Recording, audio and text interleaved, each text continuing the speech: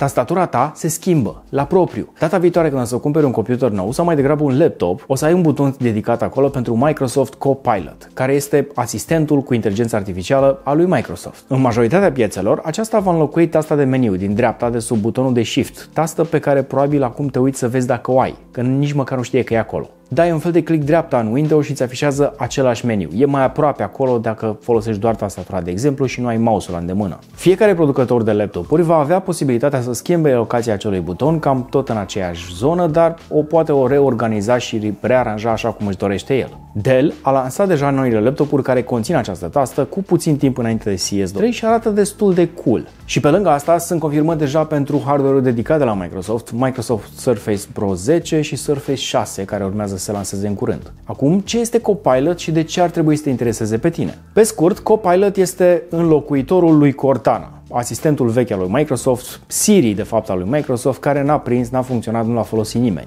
Pe de altă parte, Copilot este un ChatGPT cu superputeri. Este aproape la fel de bun ca ChatGPT 4, ba chiar folosește anumite instrucțiuni de acolo și are posibilitatea să se dezvolte chiar și mai mult de atât, dacă vrea Microsoft. Și da, e chiar bun, având în vedere câte miliarde a vărsat Microsoft în acest software și are șansele să crească și mai mult de atât, pentru că urmează să verse alte zeci de miliarde în perioada următoare. Și în timp ce lumea se întreabă de unde o să avem atât de mult curent ca să susținem această creștere a inteligenței artificiale, află că Microsoft își construiește propriile centrale nucleare, pentru că nu poate depinde de furnizorii de energie electrică să îi dea atât cât are nevoie atunci când are nevoie. Și exemplul lui Microsoft este luat și de alte companii, cum ar fi de exemplu Tesla cu acele Gigafactories și mulți alți producători din industrie care își și-au făcut o fabricuță eventual lângă o centrală nucleară sau își fac ei propriile centrale. Sau panouri solare, câmpuri de fotovoltaice ori câmpuri de eoliene. Nu cred că îți mai aduce aminte de Cortana pentru că n-ai folosit-o probabil niciodată. Nici nu cred că știai că există sau ce face de fapt. E bine, Cortana a fost de fapt asistentul virtual pentru Windows Phone 8 sau 8.1. În 2 aprilie 2014, când a fost lansat, a fost ceva foarte interesant. Ar fi trebuit să te ajute să faci anumite lucruri, dar Vezi tu, Windows Phone a decedat subit când Microsoft a decis să-i, pună, să-i bată cu el în sicriu și pur și simplu n-am mai auzit nimic de el de cel puțin 6 ani de zile. Adevărul e că era cam ciudat să vorbești la vremea aia cu telefonul, da, păi cu laptopul. Copilot este însă aici să rămână. Nu e ca Bixby de la Samsung și butonul lor dedicat pe care nu puteai să-l folosești la altceva decât la Bixby. Că nu te lăsa Samsung să modifici maparea acelui buton să pui altceva acolo, cel puțin nu la primele versiuni. După aia puteai să faci chestia asta cu Google, mi se pare. Îl deschideai din greșeală și îl închideai la fel de repede pentru că era cam prostănac și încurcat tot timpul oalele. Ce e diferit însă la Copilot și de ce o să aibă mai mult succes decât Cortana și probabil la fel de mult succes ca CGPT, dacă nu chiar mai mult? În primul rând, este folosit deja de peste un milion de oameni care plătesc o subscripție. În mare parte sunt dezvoltatori, cei drepturi și companii, dar Chiar dacă Microsoft încă pierde bani pentru Copilot, o să-l țină în picioare. Mai mult de jumătate din codul lui este scris de utilizatori de pe GitHub și probabil cealaltă jumătate de însuși Copilot. Și chiar dacă apare un program open source, Microsoft deține patentele și îl va folosi ca atare să ne facă nouă în teorie viața mai ușoară. Acum, Microsoft rulează pe numai puțin de 1,4 miliarde. Se spune că ar fi 1,6 miliarde de computere din întreaga lume și asta dacă e să luăm în calcul doar Windows 10 și Windows 11. Că mai sunt utilizatori și de Windows ME, Windows 8, Windows XP chiar. Foarte multe companii încă folosesc Windows XP pentru că n-au computere care se conecteze la rețea și nu vor să-și reconfigureze platformele și să riște zile întregi de downtime. Cât de greu crezi că ar fi lui Microsoft să ne bage pe gât încă un serviciu nou, așa cum a făcut-o de exemplu cu Microsoft Edge, browserul lor care teoretic ar fi cel puțin la fel de rapid ca Google Chrome. Apropo de Edge, are deja un market share de 11%. Asta înseamnă că sunt vreo 170 de milioane de utilizatori deja pe el. Pe mulți i-au convins cei drept. Și i-au convins doar insistând de fiecare dată când își instala Windows-ul. Edge a fost forțat pentru toată lumea. Nu ni l-am dorit, n-am avut nevoie de el, dar Microsoft spunea că este cel puțin la fel de rapid ca Google Chrome. Și ăsta era cam singurul motiv pentru care să-i faci update, să, să treci, de exemplu, de la Google Chrome la Microsoft Edge. Arătau cam la fel, dar pe mine m-a scos din minți momentul în care a început să-mi copieze toate informațiile, userul de uh, Gmail la momentul respectiv, toate parolele, bookmark-urile și să-mi spună gata, ești pregătit să folosești Edge.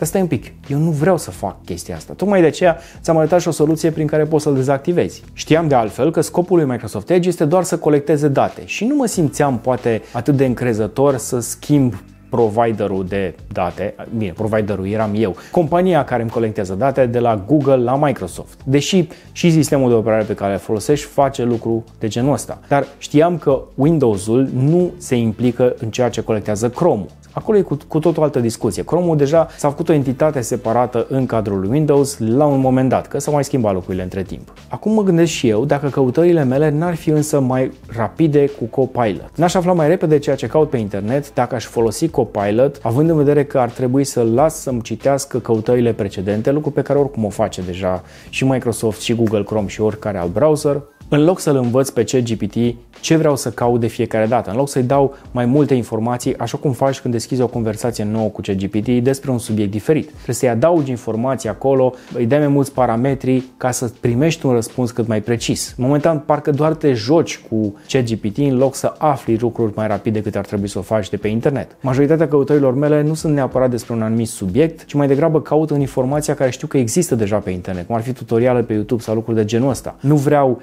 indexări ale site-urilor care au scris articole doar ca să se afle în treabă și pur și simplu vreau experiența unor utilizatori, unor profesioniști, cum ar fi cei de pe YouTube, care știu să facă lucrul ăsta. Până când ChatGPT sau Copilot sau alți uh, uh, asistenți de inteligență artificială nu pot să-mi dea rezultate rapid în sensul ăsta, nu să-i folosesc prea des la ceea ce am eu nevoie. Chestia e că Microsoft Copilot e deja disponibil în Windows 11 și dacă locuiești în Statele Unite sau în alte câteva țări mari, deja probabil ai văzut că s-a venit acolo update-ul și poți să-l activezi ca buton dedicat în Windows. Momentan la noi nu se poate chestia asta. Am încercat, chiar dacă îți setezi Windows-ul să fie din Statele Unite, așa cum o fac de altfel cu fiecare sistem de operare, e pur și simplu obișnuință. De când făceam chestia asta cu Windows 3.1, care nu avea suport pentru limba română, eram obișnuit să setez limba engleză și Statele Unite, că de acolo venea Windows. În plus de asta, nu prea ai nevoie neapărat de butonul de la, de la tastatură, dar dacă Microsoft îl implementează, s-ar putea ca utilizatorii să-l folosească, pentru că știu că este acolo, e aproape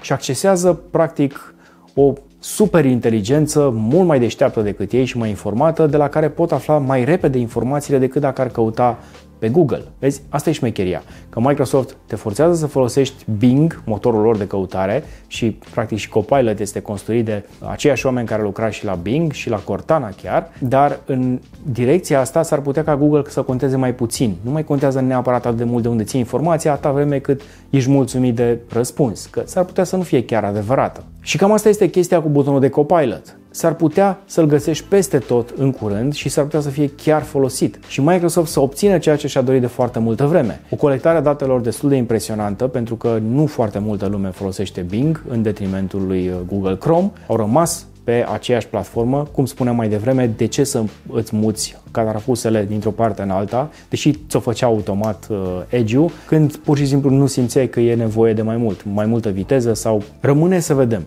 Însă, sunt destul de sigur că s-ar putea să funcționeze. Cel puțin pentru Microsoft s-ar putea să vină luminița de la capătul lui tunelului pe care o caută de cel puțin 15 ani. Sper că te-am lămurit care e treaba cu butonul de Copilot, cu noul buton de pe tastatura ta pe care cu siguranță o să-l ai și dacă ți-a plăcut acest video, dă un like, dă un share ca să-l vadă și un prieten de-al tău și noi ne vedem data viitoare. Numai bine! Sigur te-ai întrebat ce sunt liniile acestea colorate din cele mai recente filmări ale noastre. Se numesc Nanolift Lines și sunt cea mai cool opțiune de iluminare ambientală. Fiecare linie are aproape 30 cm și se poate interconecta în orice formă vrei tu. Ca să obțină efectul acesta frumos, lumina bate spre perete și nu direct în ochii tăi. Le poți seta pe orice culoare și poți regla intensitatea la procent. În plus, ai sute de scene diferite în aplicația de smartphone, iar lumina răspunde și la sunetele din încăpere. Le găsești acum pe Gadget Boutique, magazinul nostru cu cele mai bune gadgeturi. Alege să cumperi de la noi, de pe gb.ro, doar gadgeturi alese și testate de noi.